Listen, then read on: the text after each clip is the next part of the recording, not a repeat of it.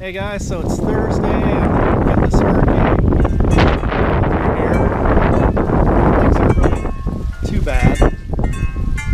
Uh, but we'll probably lose power, so got my generator out, plugged in. Crank this thing up. Actually, we'll just go ahead and crank it up right now, right? Turn that on. Open the fuel. Uh-huh.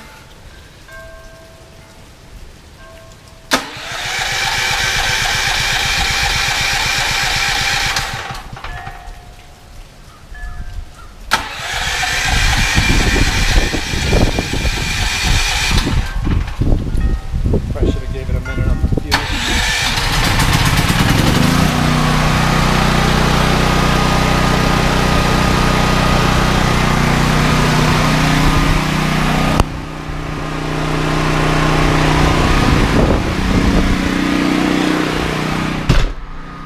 Alright, so these are my chargers. So all I gotta do is throw this transfer switch.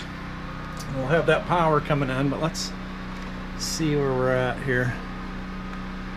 Set up the charger first. Alright, where are we at? There we go. So it's at 10%. Uh, we can up that to 20 for starters. Oh, and uh, I already turned off the stuff in the house. So I like to turn everything off. So we're just running off utility. So the reason I'm going to run this now is because we got 78% on the battery. But, you know, if we lose power, I'd like to have some more in there. So I'm going to go ahead and put that generator. Now we got power up to here. It's going to qualify it. Make sure it's clean enough power to run the chargers. There we go. Clicked on. What am I missing here? We're not getting anything yet, but that should crank up in a minute here.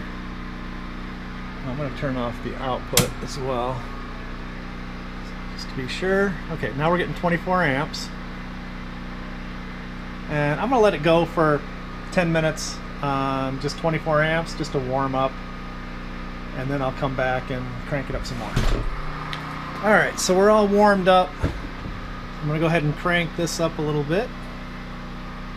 So you can see that.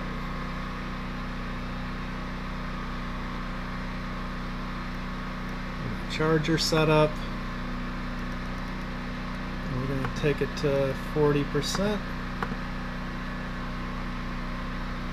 So we got 25 amps. Going to crank up. You'll hear the generator.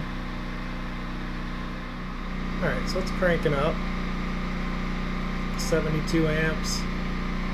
So I've got two 60 amp chargers and the inverters there. And all I'm doing, all I'm doing is charging up this battery bank. That's the whole point. Alright, just want to get this battery bank charged up to maybe 95% or so from 78. That way if the power goes out, we can run off those batteries all night.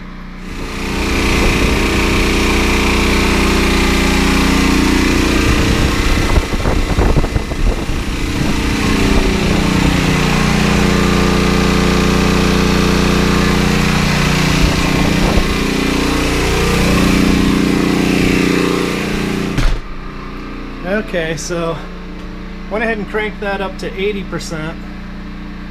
I mean the uh, charging rate. And uh, so now we're at 97 amps, 55 volts, right around you know, 5, 6,000 watts coming in. We're up to 80%. I'm to let this roll until we get to about 95.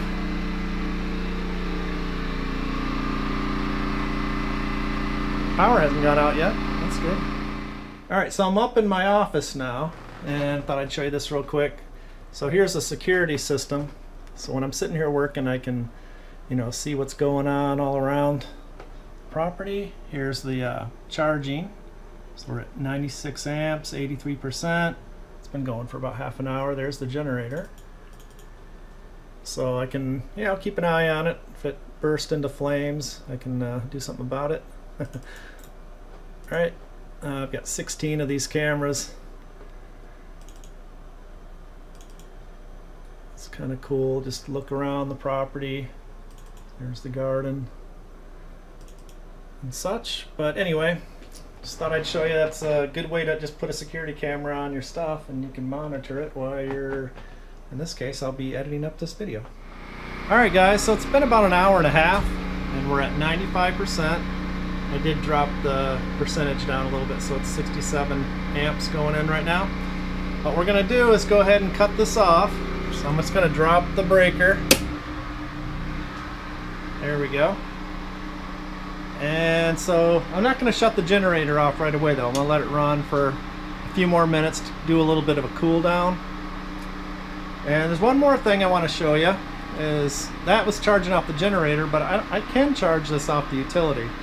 And to do that, I just come over here. This is a it's a 60 amp breaker, maybe a 55, off this sub panel, which comes over to here.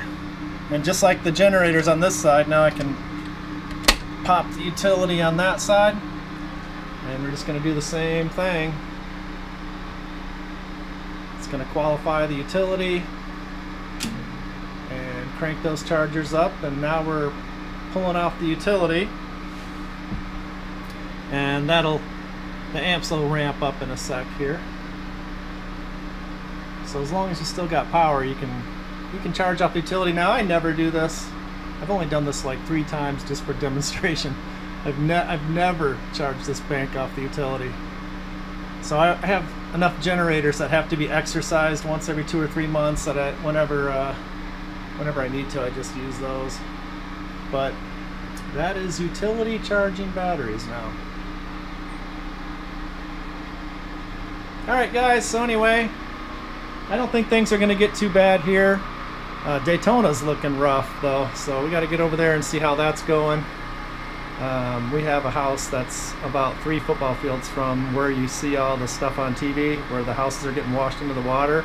Our house is right behind that. You can see it in some of those shots. So we'll have to check that one out, but things here aren't looking too bad.